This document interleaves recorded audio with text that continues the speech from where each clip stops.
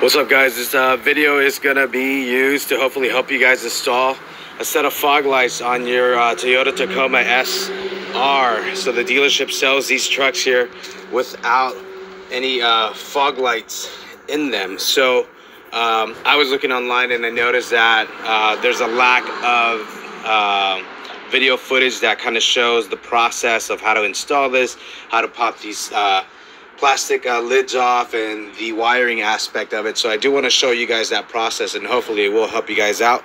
I did purchase a kit on Amazon for close to like about, I want to say, uh, I want to say about 50 bucks or so. Uh, it did come with uh, two fog lights um, with the H11 bulb. Um, here are the covers that, that are going to go on the Tacoma. This here I am a huge fan of. I love the switch. It kind of it gives it kind of that OEM look. Though the color match probably won't be uh, the same as what's already in the interior. Uh, the aspect that they gave me a switch that is not just a regular um, toggle switch or just a, a, a um, you know a cheap uh, aftermarket switch. Uh, I appreciate the fact that they sent me something that is going to help me preserve that OEM look. Um, and then just the uh, the wires, the wire aspect of it. So uh, the hardest part of this installation is going to be getting this cable uh, through the firewall. So uh, I'll show you guys how we do that. All right, guys. So in your um, in your fog light kit, you have two terminals that you can separate. One that's going to go underneath the hood that's going to connect to the fog lights. And the second terminal, which is going to have this green end here, which is going to connect to the switch inside. That one is going to have a uh, a red cable which has to be connected to some kind of power source. Uh, hopefully one that will connect to the ignition switch so your lights turn off when the keys are pulled out of the car. Uh, ground that goes anywhere on the chassis of the vehicle. And then this yellow cable here, this one has to run through the firewall. Uh, my kit came with a uh, extension. And so this cable here, this extension here, I have to run through here. This end right here. And so it is going to be a little bit, it's going to be a little tough. However, it's pretty easily manipulated if you stick your hand in there. You kind of pull back on that flap. And so you got to just kind of get it in there, push it through, and you should be all right. So once you do that, um, let me show you where it's at on the inside too. It might be easier from the inside than from the outside in. Um, so this is the inside of Tacoma. For a second, get down here. All right. So I'm over here on the driver's side. Um, if you look back here behind all the where the fuse box is at and some of these cables are at, um, right in there. This is where that rubber piece is at. So you can also pull back here and then slide that cable through. Um, check it out. All right, guys, so here's a little trick to uh, getting this cable past the firewall. So get yourself a long uh, flathead. Um, you should have one at home. Take your extension cable that's supposed to run through the firewall, and then let's go ahead and tape it up. All right, guys, so check this out. So I taped my extension out, and now what I am gonna do, I'm gonna need two hands. I'm sorry I can't record this. However, though, I am gonna push down with the flathead and with my other hand assist as I guide this cable through this entrance here into the firewall. Um, I'll show you what it looks like once the uh, the flathead's all the way through. All right, guys, so I have just pushed my flathead through. See there, the cable is inside. Oh, let me get a little bit of focus. All right, so the cable is inside there over the top of that rubber seal and they should be able to spot it on the inside. Let's see.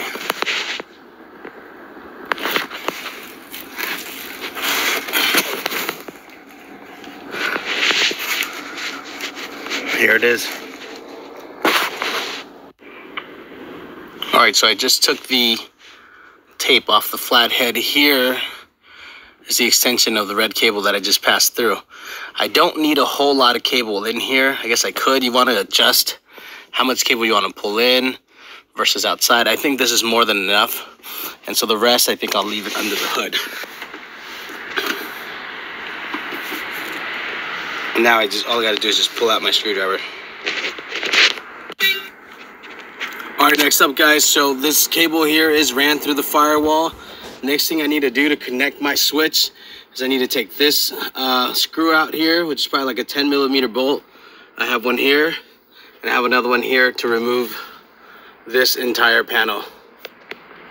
All right guys, so I've taken my three screws off, and then all you gotta do is just pull on this panel here, give it a little bit of pressure, and then you'll see how the whole thing comes off. You stick your hand back here, because I mean, I'm gonna install my switch here. They gave me, uh, the, ins the installation kit gave me a switch. Uh, here it is. This switch here, it's gonna go in here. So all I wanna do is put my hand inside, give it a push, probably some clips there, and out comes the switch. There it goes. And then just go ahead and press your, um, grab your new switch and just go ahead and connect your new switch in there. And I'll show you what it's like. You know, guys, once you have your uh, lid off of there, you know, I'd probably suggest running your green cable through and then uh, connecting your switch. Probably make life a whole lot easier. So that's what I'm going to go ahead and do, uh, just like so. Uh, I'm going to go ahead and connect the switch and then we'll pop it in place. All right, guys, I have connected my switch here. Here it is. Um, definitely want this to be facing the right way. So you don't want to install it like this. You want to install it this way. I've also pulled all my cables back, uh, these three here. And I'm gonna go ahead and uh, push this back into place. There it is, look at that. That looks pretty awesome.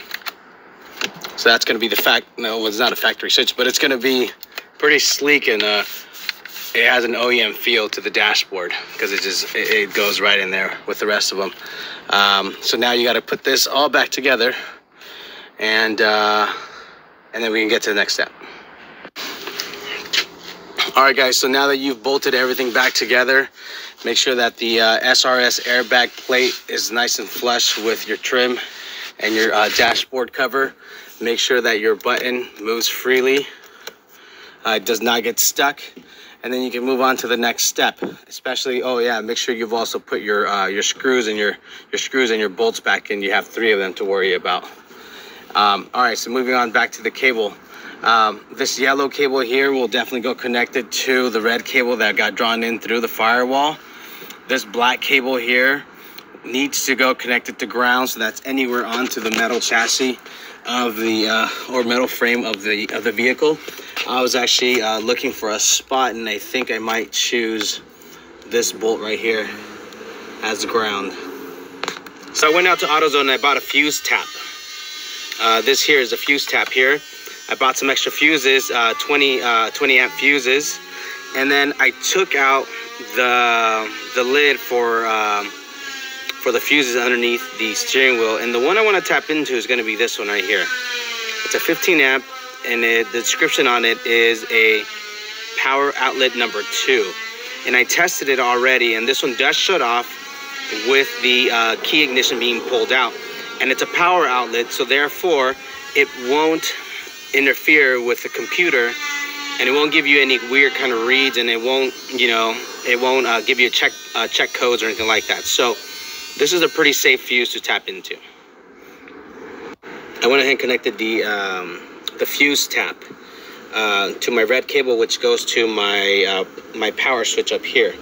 Uh, so now that that's crimped and ready to go the male portion here is going to go connected into the fuse box.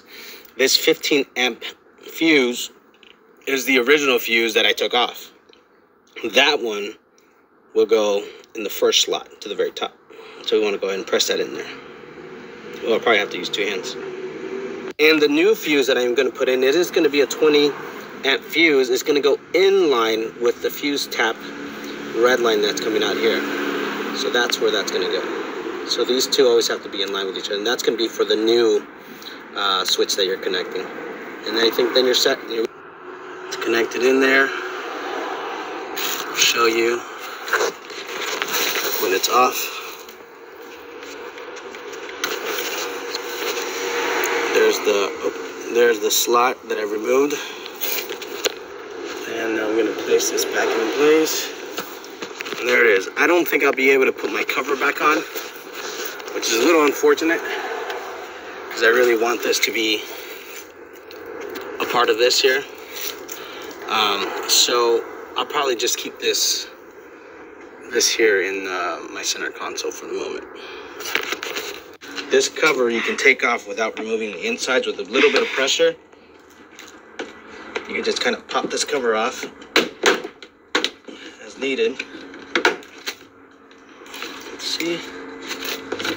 They do have pins inside, but like that, these covers come off and these will be replaced by the ones inside your kit.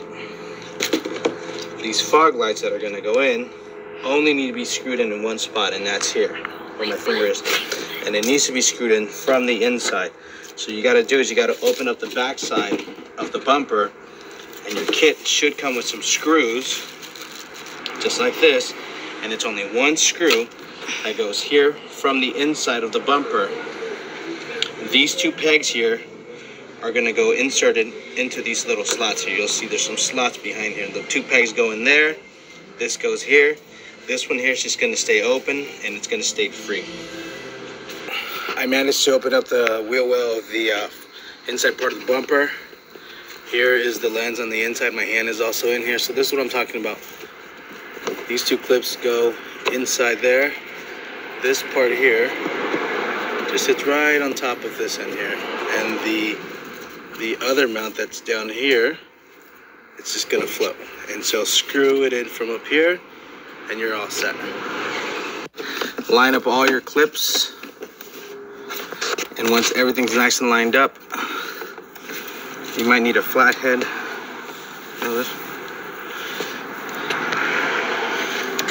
You basically want to line up all your clips with the existing uh, mount holes.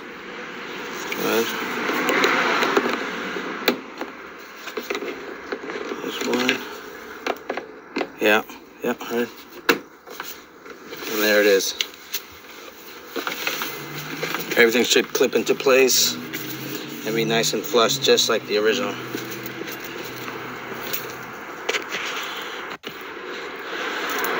Now that your fogs are installed, you run your you run your cable through. Uh, this one here is the one that's going to run closest to the battery side. It does have your relay here. The yellow cable goes connected to the red cable that came out of the firewall. This red one here is going to go to the battery. Uh, and the other cables I just ran through the inside here of the truck. Same thing for the other one there is a negative um, ground cable here and I figured I will attach it to this bolt here for some ground. And the other cable turned up over here.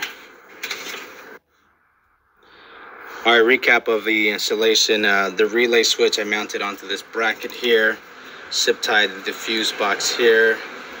Um, this cable here I've wrapped around in, in some tape to make it a little more sleek. It is going to wrap around the battery and it's going to mount to the top battery right there.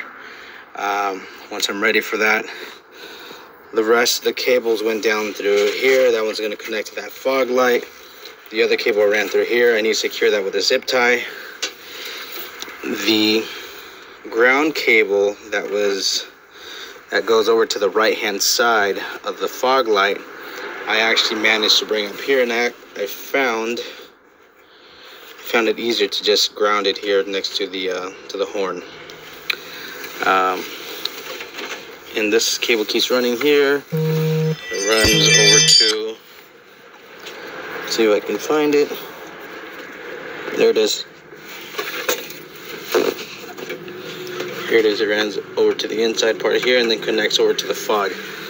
So that is it for the video. These lights do work and they're ready to go. Hopefully this helps you in your installation. All right guys, so this is the finished product at nighttime. Just kind of want to show you guys here. Uh, that's what your switch is going to look like. Um, it's green. There's nothing you can do about it. I wish it wasn't green. I wish it was a different color, something lighter uh, that was closer to the uh, the rest of the colors on inside the dash, but it's not. So this is it. Uh, nothing much you can really do about it, but as far as the final installation, uh, this is it. Came out pretty nice.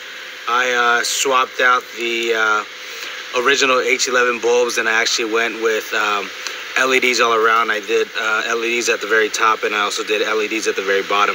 I hope this video helped you guys out. If you guys liked it, uh, leave me a comment or uh, shoot me a thumbs up. Um, and if you didn't like it, because it wasn't detailed enough, uh, chances are you shouldn't probably be modifying your car.